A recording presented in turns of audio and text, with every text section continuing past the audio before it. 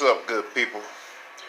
Back with you once again, Little Rider Sports, talking about NFL, Major League Baseball, NBA, um, college football, basketball. What's up on my mind? Sad news: Lamar Miller for the Houston Texans is out for the season with torn ACL.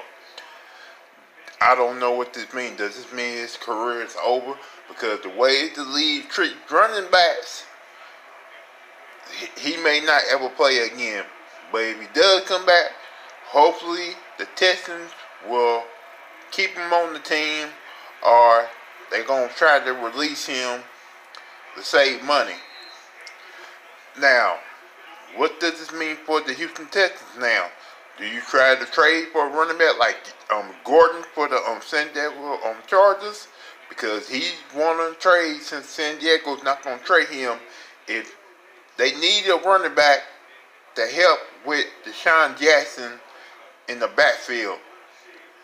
So let me know in the comments what y'all think the Houston Texans going to do now and what, what Lamar Miller's career is going to end up being after this he healed from the ACL injury from his knee. Just follow me on my, on my social media um, down below and give this video a thumbs like. Please subscribe to my page. Other than that, peace.